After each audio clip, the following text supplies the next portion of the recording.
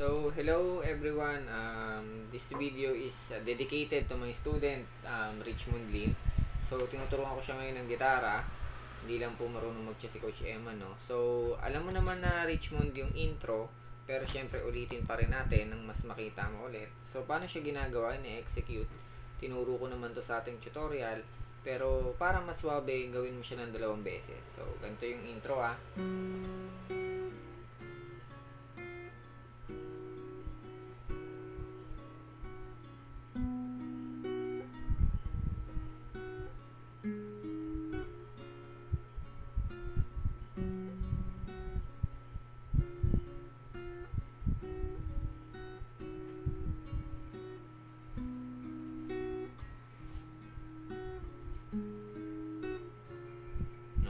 So tapos na tayo sa intro.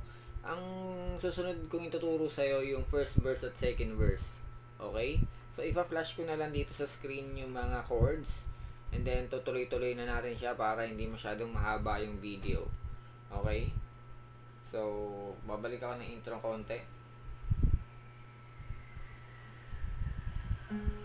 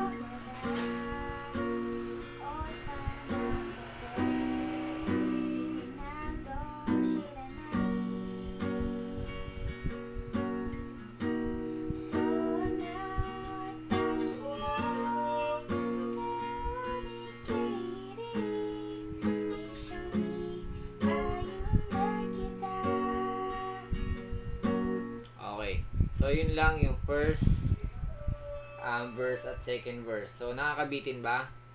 So, anong kasunod nun? Uulit na lang ba? Okay. So, almost uulitin mo lang yung first verse at second verse kung anong chords na ilalabas ko. So, kung itutuloy natin, ganito yung kasunod. 3 minutes pa lang naman. 1, 2, 3, go!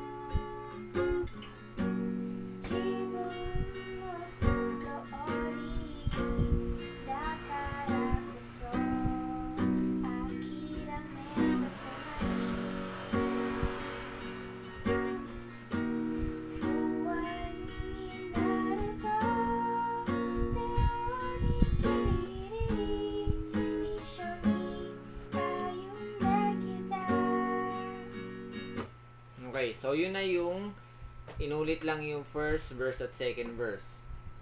So, meron na tayong pre-chorus. So, ang bilis, no? Bilis ituro. So, pre-chorus natin, ipa-flash ko ulit yung chords. Tutuloy natin. 1, 2, 3, go. Ano yun? Pre-chorus. Tama ba? Anong umpisa niyan? So, ho, tauki. So, anong chords yan dito? Sige, okay lang yan. Okay, yon Okay, D minor. D minor yung pre-chorus. Okay, wala tong cut Richmond ha. Dire-diretso lang to. Okay, 1, 2, 3, go. Sometimes I should sour.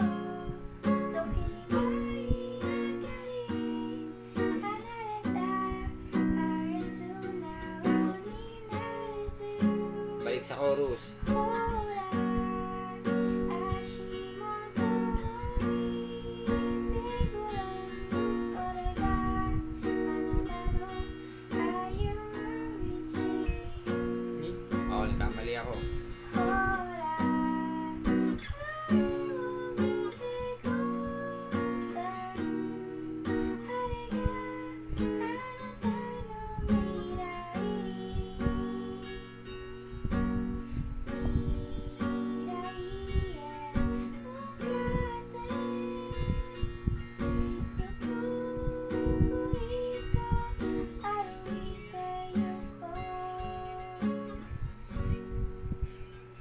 Yung dulo, pag-aaralan ko pa yon Pero at least babalik ka dun sa chorus.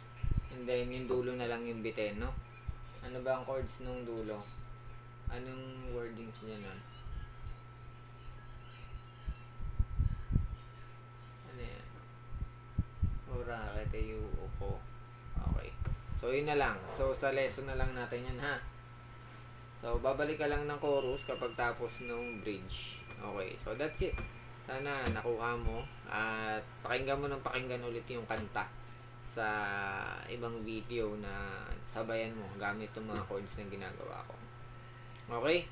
Kung kaya mong kantahin, much better. So, that's it. Sana mapanood mo to at paulit-ulitin mo para sa next um, lessons natin, eh, bagong kanta na aaralin natin o kaya ituturo ko na sa'yo yung plucking. Kasi importante yung strumming para matutunan mo yung timing. Okay, that's it. Bye-bye. See you again sa next tutorial natin. Thank you.